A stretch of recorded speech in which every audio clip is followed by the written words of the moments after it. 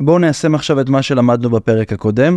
אנחנו דיברנו על איך להציב קואורדינטות, איך אנחנו זזים עם x, y ו-z, אנחנו דיברנו על מרחק נקודה ממישור, וגם אורך רגיל אמור להיות פשוט.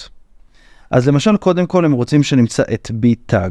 עכשיו יש לנו כאן את b, b תג, בהנחה שכמובן מדובר בקובייה, אז הדבר הזה הנח למישור x, y.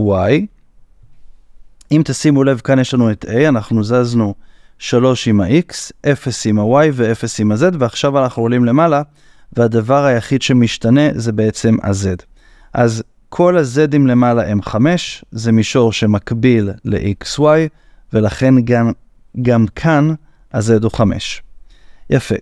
בפאה הזאתי, אם תשימו לב, כל ה-y'ים הם 4.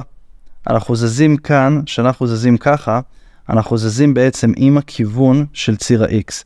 אז כשאנחנו זזים עם הכיוון של ציר x, רק ה-x משתנה.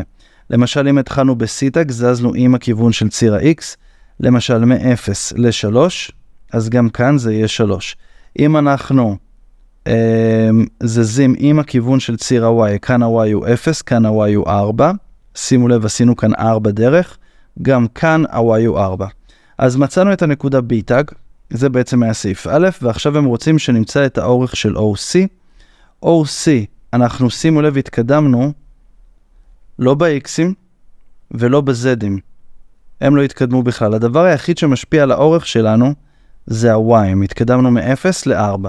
בעצם ממש התקדמנו על הציר, אז האורך חייב להיות 4. כאן 4.